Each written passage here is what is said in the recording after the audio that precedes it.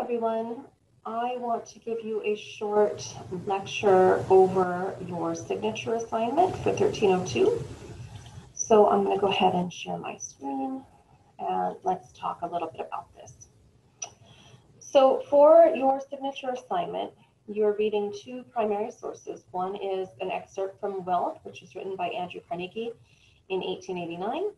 Um, remember who Andrew Carnegie is. He's one of the depending on your point of view, robber baron or captain of industry in the Gilded Age. He came to the United States as an immigrant, and he, you know, he wasn't really the poorest of the poor. He was more kind of lower middle class, but um, he worked as he became the owner of U.S. Steel and, and became one of the richest men in the world. So he's kind of the celebrated weird rags to riches story, right, in the Gilded Age that everyone likes to point to.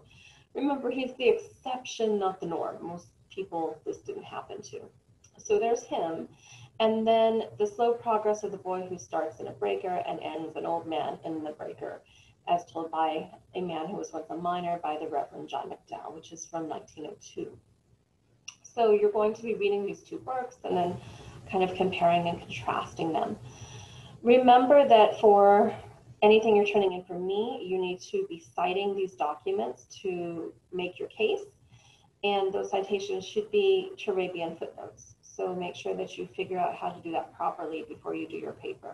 And of course, review the rubric um, before you submit anything. So let's start talking about wealth by Carnegie.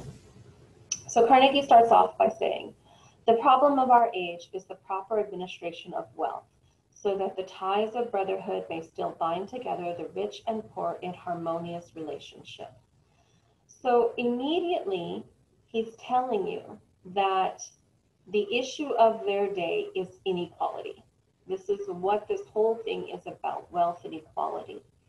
And the fact that he's talking about um, may still bind together rich and poor in harmonious relationship indicates that there's tension between these two groups about what's going on with the proper administration of wealth. The the rich kind of having all their money and what they're spending it on. So there's class issues going on here and there's inequality issues going on here in the gilded age.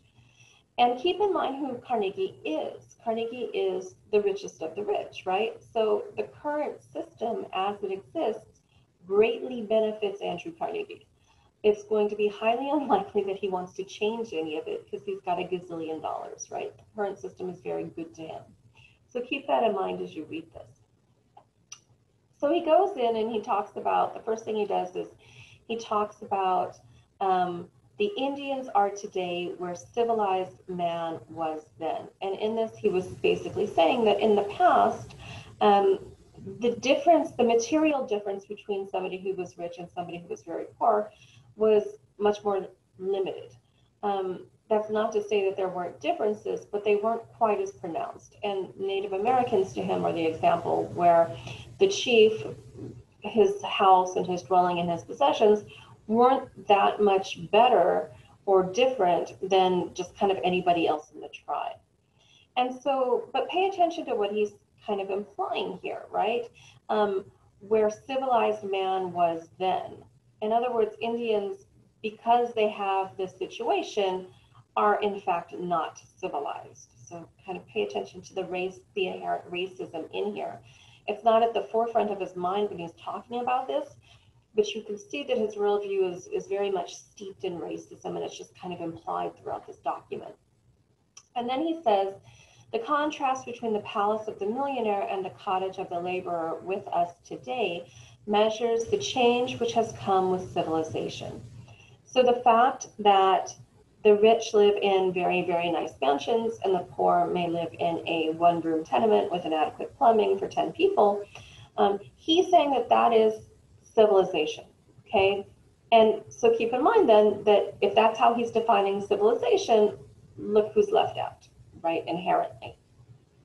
And so this change in material situation and this change in, in, in this great inequality, he argues, is not to be deplored, but welcomed as highly beneficial. It is well, nay, essential for the progress of the race that the houses of some should be homes for all that is highest and best in literature and arts. Without wealth, there can be no Maecenas. So, this inequality, this great inequality, is a good thing according to Carnegie. And he says not only is it something you shouldn't complain about, you should be welcoming it for the progress of the race. Now, when he uses this term, undeniably or undoubtedly in the back of his head he's picturing a white male right but he's not using this term with that idea in the forefront of his mind he's using it more in place of like american civilization but again remember that term is highly loaded right because who is he thinking of and who is he leaving out whenever he says civilization and if he's leaving out native americans he's probably leaving out African Americans, he's probably leaving out Hispanics and Asian Americans and everybody else too, right? So just kind of pay attention to that. So essentially, he's saying that this inequality is good for civilization, it's good for the whole. Maybe it's not good for the individual, but for the whole, it is. And because it's because of this inequality that we have, you know, the arts, and then we have literature, and that we have refinements. And that without that you wouldn't have that. It would just be universal squalor right? Everybody kind of living in filth. You can buy that or not but don't let it don't treat it uncritically. Is is he implying that native americans didn't have art? Because that seems to be what he's saying here and is that true and then he says in the past neither master nor servant was as well situated then as today in other words because we have more material goods today, and because they had more material goods in the Gilded Age, this was better for everyone, right? It's better for the master, it's better for the servant, it's good for the rich, and it's good for the poor. Um, and so, in Carnegie's mind, this kind of makes up for the inequality that we see. And he goes on to say, it is a waste of time to criticize the inevitable in other words, these market forces, um, the way that the economy is being organized is inevitable. It's unchangeable. So you might as well quit complaining about it because you know it is what it is. Now this you need to push back on. This was not inevitable. this was a choice that was made in the Gilded Age and, and very much with us today and very much a break from the kind of economic structures that had existed in world history up until this point. Um, and we could talk about, you know, arguments of what the Knights of Labor called wage slavery, for example. This idea where you're divorced from the product that you produced, and instead um, that's appropriated by the owners, and you're being kind of paid a a wage, which is something and a wage based on supply and demand of the workforce, right? This is something drastically different from what you would have seen in, say, medieval times in Europe, right? In medieval times in Europe, you would have been paid, you know, the common the common rate, and that would have been what was enough to sustain a family doing that kind of work. It wasn't necessarily um, based on these kinds of market forces the way it was.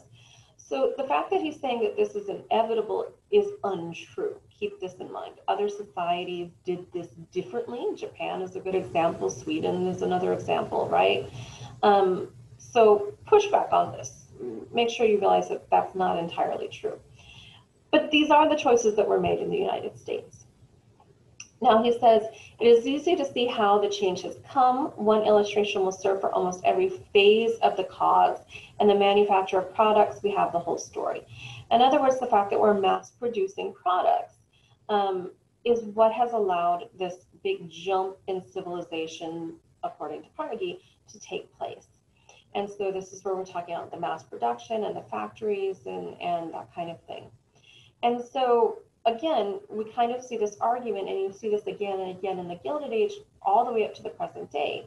This idea in America that essentially, if you can shop, you're free, right? We tend to um, see this argument made again and again that the definition of American freedom is the ability to consume, consumerism. How many, you have a lot of shoes, so you must be free. Um, so keep in mind that That's not the only way you can define freedom, and a lot of people reject that definition of freedom. But this is a very common one that you see even in the present day being made. And so then he says there was substantial, there was substantially social inequality and even political equality for those engaged in industrial pursuits had then little or no political voice in the state. But the inevitable result of such a mode of manufacture was crude articles at high prices. So before this, he's saying that there was social inequality and perhaps even more political equality than there was before, right? Um, but because of that, you you had you didn't have all the good things that you can buy now, and so for him, um, this was not a good trade-off, right? But he does acknowledge that this was the trade-off.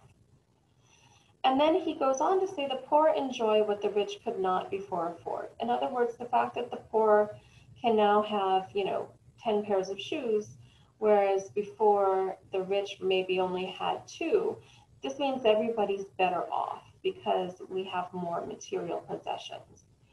Again, I leave that up to you to decide whether or not this is the best way to be defining freedom, right? Because do the poor have as much autonomy, control over their lives? In other words, could you leave today and quit your job um, because the working conditions were bad and not lose your home and your health insurance and your car? And if the answer to that is no, um, then are you free? And so these are things to kind of think about that there are other things you should be measuring freedom from. If you get sick, would you be able to stay home and recover for as long as you needed to and, and be okay um, socially and, and economically? And if the answer is no, are you free? Um, can you afford to have a child and, and, and have that child be taken care of while you work? And if the answer is no, are you free? So there's a lot of different ways that, or even going into a political realm, um, how much is your voice really affecting policy? If you have an idea about, uh, we'll take gun control, for example, universal background checks. I believe last time I saw the last poll I saw, it was like 80% of people wanted it. But very, very powerful interest groups such as the National Rifle Association don't. And so we don't have universal background checks. So who, what's the difference here? And the difference comes down again to money. So are we really, really free if our voices doesn't count as much because we don't have as much money? So keep that in mind. This is the way that Carnegie wants to define freedom. And you can buy into it if you want to but it's certainly not the only way that freedom can be defined and is defined. And then he says he acknowledges that the price we change that we pay for the salutary change is no doubt great, and he kind of talks about this, right? But the advantage of this is also greater still, right? That it's better that we have these comforts and these luxuries, and, and that's worth giving up all this other stuff that we had to give up to get it. And he argues that, and while the law may be sometimes hard for the individual, it is best for the race because it ensures the survival of the fittest in every department. And so here, your social Darwinism bells should be going off full blast, right? So Carnegie and almost all the super rich of his time were believers in social Darwinism. This idea that um, that the rich were rich because they were somehow superior, right? They were stronger, faster, smarter, had better hair, whatever it was. And that the poor were poor for one of two reasons. Either they were inferior, right? You can't fix stupid, or um, because they were lazy, that they just weren't applying themselves or working hard, right? And that's where you get into kind of this myth of hard work that all you have to do in America is work hard to succeed. And don't get me wrong, I'm absolutely not saying that hard work isn't a part of success. It, it usually is, but not always. I mean, Donald Trump inherited $450 million. What did he do to earn that besides being born in the right room, right? Not much. And then how many of you, your parents work very hard every day, and how many of them have $450 million? So you can see here that there's a very big disconnect between those ideas, right? And so um, keep in mind that it's very convenient to believe in social Darwinism when you're very, very rich, right?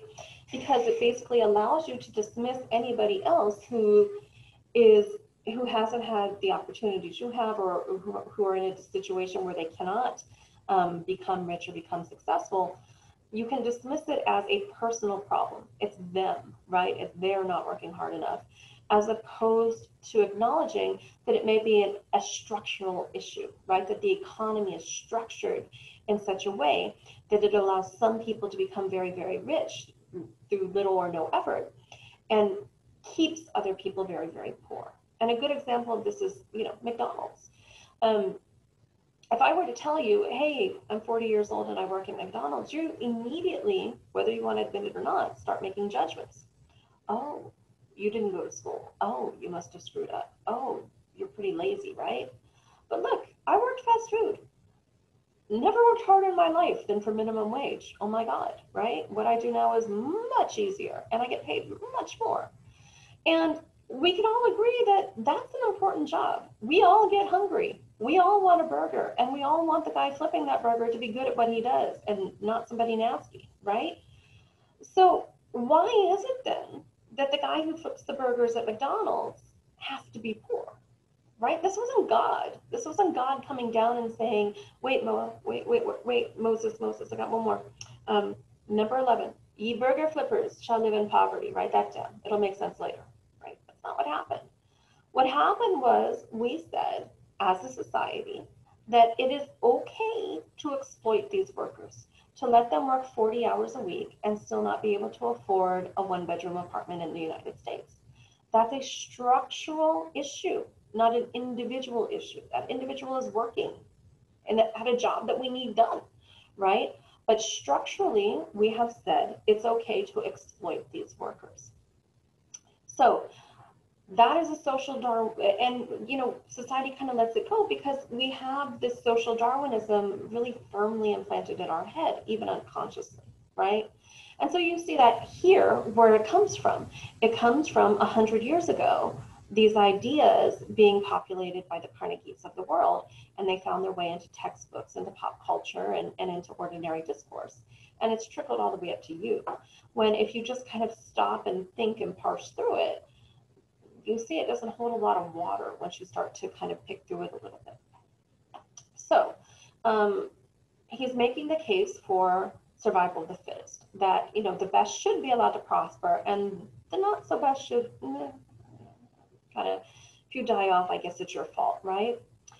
We welcome or we accept and welcome, therefore, as conditions to which we must accommodate ourselves, great inequality of environment, the concentration of business, industrial and commercial, in the hands of a few, and the law of competition between these as being not only beneficial, but essential for the future progress of the race.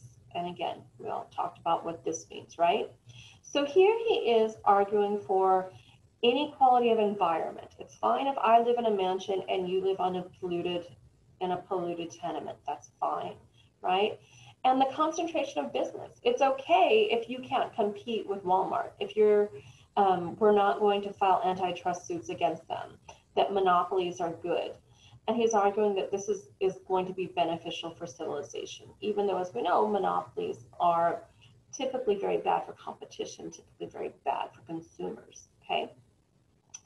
And then he says that it's okay for these very rich people to have all this money because this talent for organization and management is rare among men, and he does mean men, right?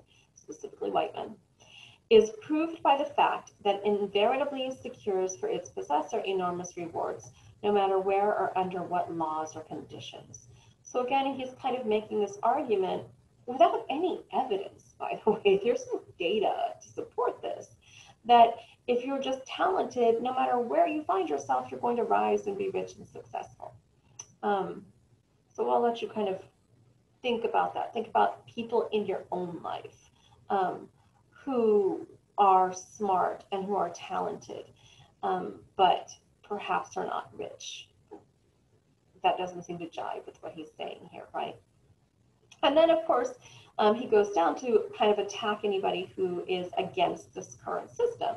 And he says the socialist or anarchist who seeks to overturn present conditions is to be regarded as attacking the foundation upon which civilization itself rests. Surely this sounds a little bit familiar because of modern day politics, right? That anybody basically seeking to overturn the status quo. And remember, the status quo benefits some and disadvantages others. That's how it's set up. It's automatically a socialist or in some cases anarchist. Today you could kind of substitute Antifa for anarchist, right? And that would take care of that. Um, so these attacks on people who are calling for greater economic equality, greater economic and social justice are very, very old. And this is nothing new, and this is how um, conservatives have attacked liberals throughout modern American history. And then he goes on to say, If thou dost not sow, thou shalt not reap, and thus ended primitive communism by separating the drones from the bees. In other words, he's talking about the people who are poor, it's because you're not working, right? And this is why communism didn't work. Um, there's a lot of issues with that. But as you'll see in the next document, these poor people are working and they're not benefiting, okay? And you don't necessarily have to go all the way to communism to see a system that's not necessarily benefiting everyone. But for Carnegie and for conservatives all the way up into the present day, the, the thing that they're most concerned about is the sacredness. Notice this is a word we usually use for like holy things like, you know, church, right? Or the mosque or the, the temple. The sacredness of property and so this is all about, um, to put it crudely, I made mine and I get to keep it, right? Um, so this for them is the bottom line. And then he says, we start then with a condition of affairs under which the best interests of the race are promoted, but which inevitably, inevitably gives wealth to the few. Thus far, accepting conditions as they exist, the situation can be surveyed and pronounced good. Okay, so he's saying this is where we're at. Inequality is there, and we're all agreeing that this is good, right? He's just proclaiming it. We're all we're all fine with this. This is good, and it's good because we all have we can shop now, so we're all free. And even if it doesn't help the individual, it's helping us uh, become civilized, right? And we're helping the fit survive and the unfit to uh, do whatever they do. Okay. And then, so since he's pronounced it good, the question he then asks is, um, with which we have to deal, what is the proper mode of administering wealth after the laws upon which civilization have, is founded have thrown it into the hands of a few? So now that we have like two guys with all the money, what should those two guys be doing with it, right? And so this is where he talks about charity. And he was a big philanthropist, but not the kind of philanthropist where he's, you know, trying to provide health care and, and affordable housing and child care to people. He says in bestowing charity, the main consideration should be to help those who will help themselves, those worthy of assistance, right? And so he's here doing a very American thing where we distinguish between what we call the quote deserving poor and the quote undeserving poor. It's why we put so many rules on, say, food stamps. Like there isn't a lot of food in this country, but we're going to decide who's worthy of getting help to eat and who is not worthy of getting help to eat.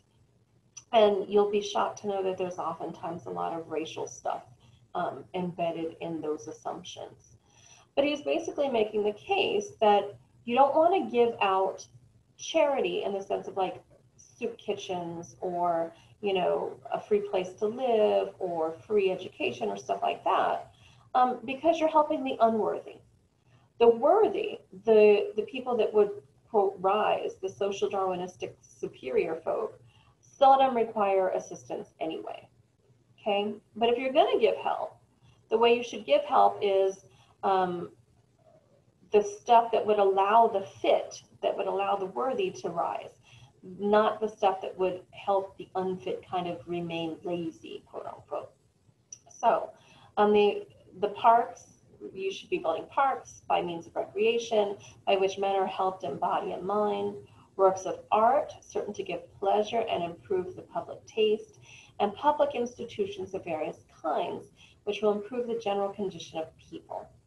And so Carnegie is a good example of this. He built libraries all across the country, the Carnegie libraries. And that was a great thing, right? But you have to ask yourself, especially when we get down and start talking about, you know, the, the kid who's a minor, after your 10 hour shift in the coal mine, do you really feel like going to the Carnegie Library and studying up on your algebra, right?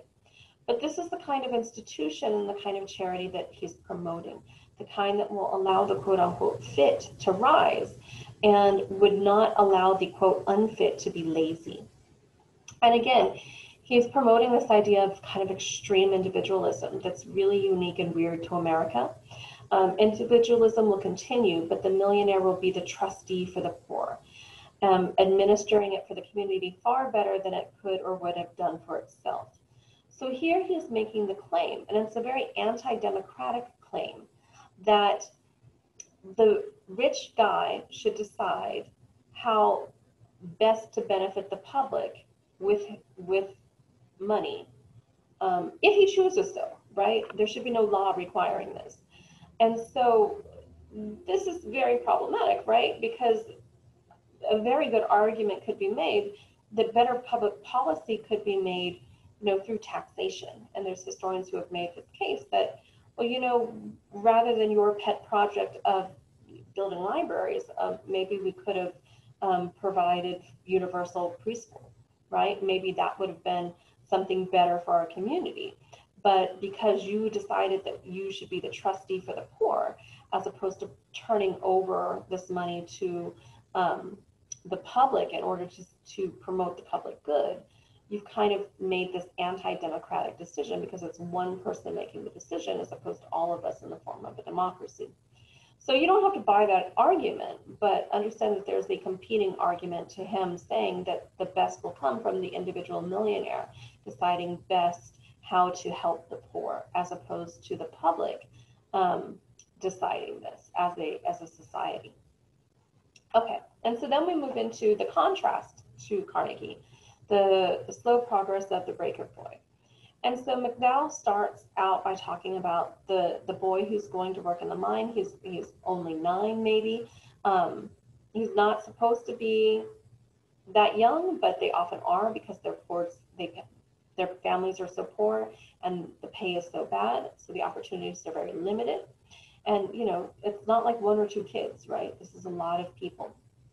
And that you know his day starts at 5:30 in the morning, and he's going to put in a 10-hour day in a coal mine, right, for 50 to 70 cents for 10 hours work. So this isn't per hour, this is for the entire 10 hour day. And so you have to ask yourself realistically, thinking through this, right? You're starting work in a mine at nine. How well do you read, right? And if you've ever had to work a 10 hour shift at your job, how much energy do you have at the end of that? And what if you're doing that for six days a week? Because that was kind of the norm. Um, six days, a Monday through Saturday, and, and sometimes you would get Sundays off, sometimes you'd get half a day on Sundays, right? So, how much time realistically do you have to go pursue other things, right? And then he talks about the fact that, you know, these kids from the very beginning, the air he breathes is saturated with coal dust. So, this is telling you that here's some environmental inequality that's going on here because um, this is going to eventually cause what's called black lung disease. It's going to kill them, give them cancer at a very early age, and give them breathing problems and health problems. So already at nine, um, he's setting himself up to be sick in a way that, say, Carnegie wasn't, that Carnegie's kids aren't. And how much economic opportunity can you achieve if you can't breathe by the time you're 30? And are you free if this is your life already? These are questions you have to ask. He later goes on to become a door boy, never over 14 years of age and often younger. So we can see again, um, not much room for social advancement. He's alone all day in darkness and silence in the mines.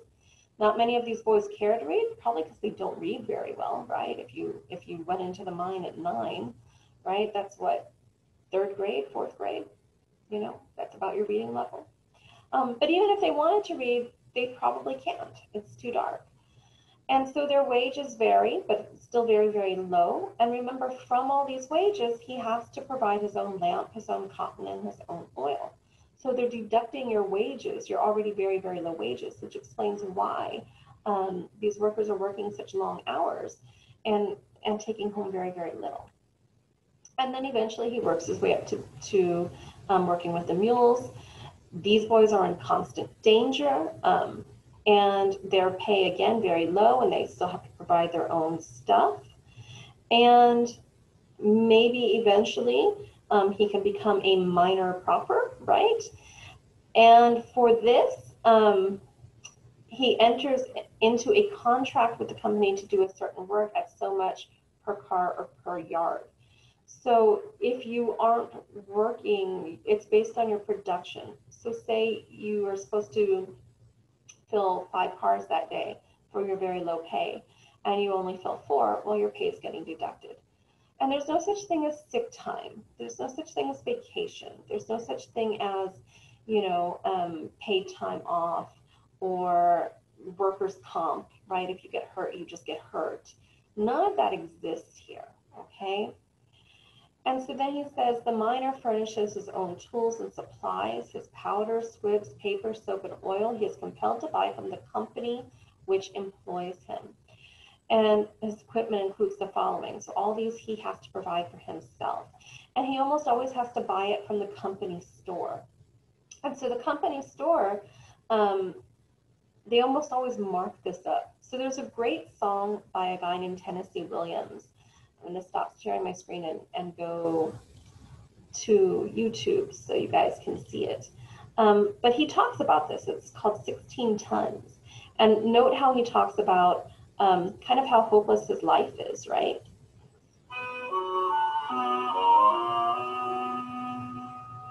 Some people say a man is made out of mud.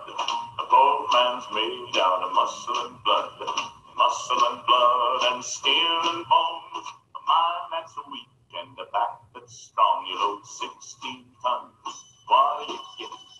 Another day older Peter, don't you call me cause I can't go. I owe my soul to the company store.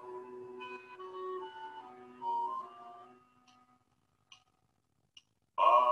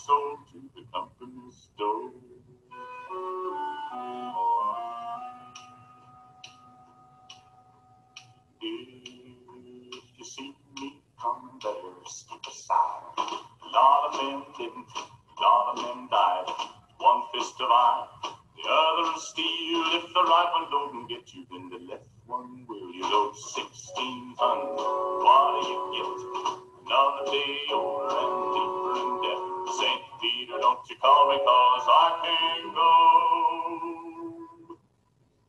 I owe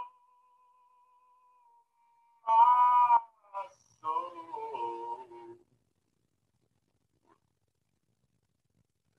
to the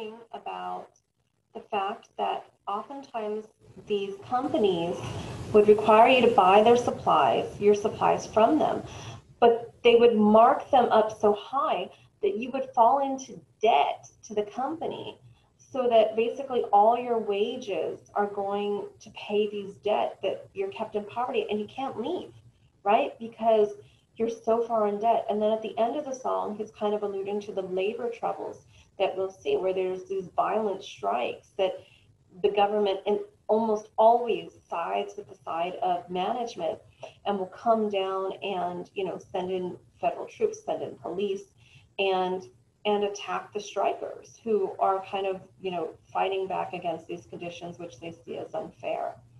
So this wasn't something that happened you know just to one or two people. I mean there's songs about it right this was how it was and again in the modern era we do similar things we just kind of frame it different ways. Again, Walmart or working in McDonald's is a good example. Um, you're you're going to work there for 40 hours, but you're not going to be able to survive. So again, continue on. His dangers are many, so dangerous in fact you can't even get ordinary life insurance, and that you'll just find crippled boys and broken down men. And remember, there's no social safety net yet. So these guys are on their own the boys and the men. They better hope that they have family that can take care of them. But if their families were in a good position to help them, they wouldn't have been sending little boys into the mine anyway, right? And the average age of those killed is 32. That's pretty young to be killed on the job. And so McDowell argues that this is a sort of voluntary life imprisonment that very few escape, kind of the antithesis of freedom, which is what Carnegie says you have because you can shop, right? So they're coming from very different places and they're providing very different stories and very different outlooks on the Gilded Age, the economy of the Gilded Age, inequality, and how things are. And so this is what you want to compare and contrast when you get to the question. You want to talk about Carnegie's views about wealth and equality, what he's saying, and compare that with the reality of the average coal miner. And remember, what impact does Carnegie's background have on his views? So things about, you know, him being that rags, to riches example, but then also, you know, him being super rich, right? And, and how have his views influenced the United States both in the Gilded Age and in the present? And so in the Gilded Age, you see this, but you see these views trickled on up, right? And so based on everything you know, is are Carnegie's views ethical? Why or why not? So I hope this helps you a little bit with the signature assignment. Good luck. Let me know if you have any questions.